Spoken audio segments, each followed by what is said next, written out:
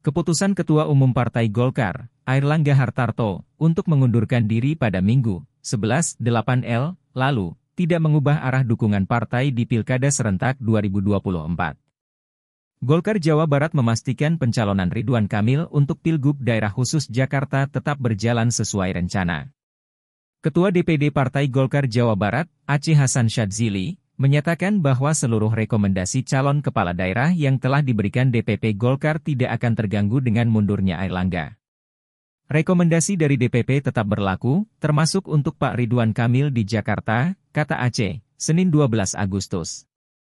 Selain itu, dirinya turut menegaskan dukungan partainya ke Deddy Mulyadi sebagai calon gubernur Jawa Barat.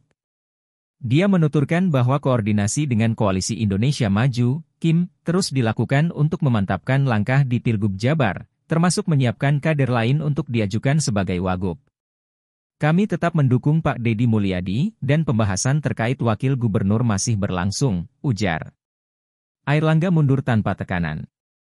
Meski mundur, Airlangga Hartarto masih berstatus Ketua Umum Golkar secara de jure.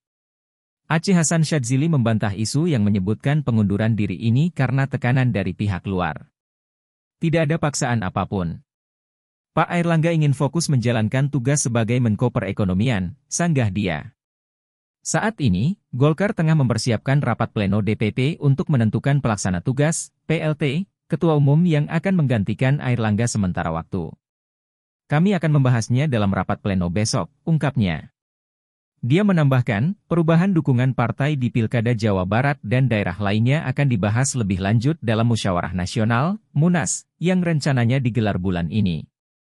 Kalau kebijakan-kebijakan yang telah diambil sebelum pengunduran diri, Air Langga, itu tetap berlaku ya, termasuk pencalonan Ridwan Kamil dan Deddy Mulyadi di Pilgub Jakarta dan Jawa Barat. Sejauh ini belum ada perubahan, pungkasnya.